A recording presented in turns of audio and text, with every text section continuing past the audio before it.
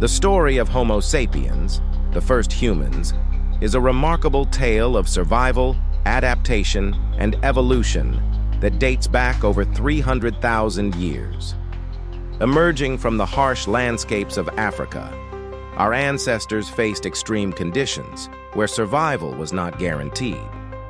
Ice ages gripped the earth, and fluctuating climates meant that food and water were often scarce. To endure, early humans developed groundbreaking survival techniques. But what were the secret tools that ensured their dominance in the fight for survival?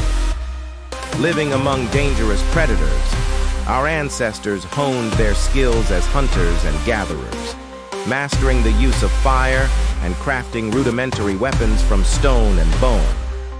Social cooperation was a key element, as small bands of Homo sapiens learned to rely on each other for protection and sustenance. These close-knit communities developed complex communication and problem-solving skills, which allowed them to outsmart their environment and thrive where others perished. What was the greatest mystery that separated Homo sapiens from other human species like Neanderthals?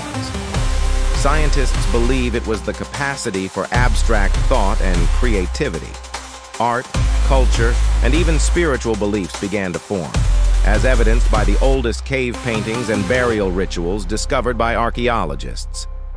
But it wasn't just intelligence that ensured survival.